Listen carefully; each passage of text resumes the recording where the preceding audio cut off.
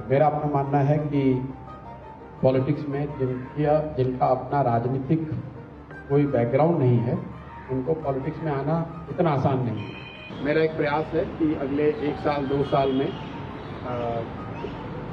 एक लाख ऐसे लोग जो पहले से पॉलिटिक्स में नहीं हैं, या शुरुआत करी है और कुछ अच्छा उनका पॉलिटिक्स में नहीं हो पाया है, उनको पॉलिटिक्स में वापस ले आए और उनको चुनावी राजनीति में चुनाव लड़ने में गाइड करें मदद करें।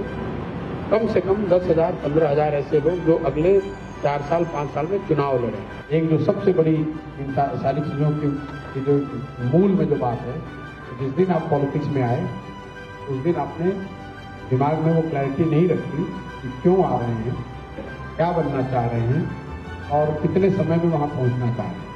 अगर आप चुनाव नहीं लड़ना चाहते हैं, मेरे साथ जुड़ने का, बात करने का आपका कोई फ़ायदा नहीं। क्योंकि दूसरी कोई विधा में जानता नहीं जो थोड़ी बहुत समझ भगवान ने दी है, वो चुनाव लड़ने लड़ाने के लिए।